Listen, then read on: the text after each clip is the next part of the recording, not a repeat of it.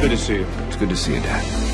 I just want to say how happy I am that we're all finally together around a table again. It's Family. Family.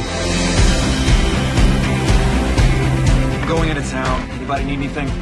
Hurry back, Will! Mom? Dad?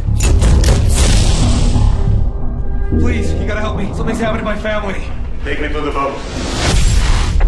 Will. Have I called you Will? How do you know my name? Your mother told me. Hey, let me go!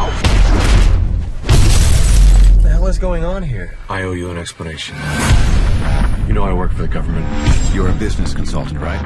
That's not the job I do at the embassy. You're CIA. How could you not tell me this?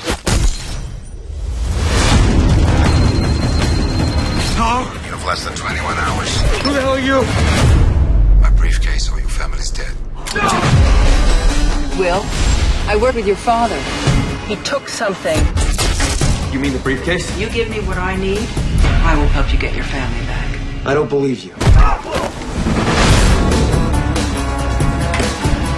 You have no money. You don't know the language. You don't know the city. I'm not leaving this country without my family.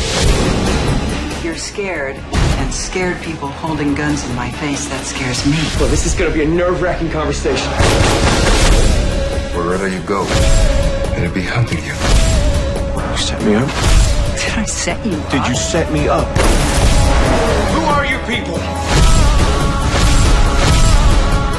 Tell me!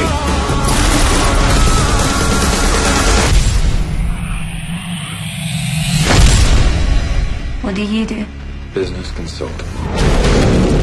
Like father makes son.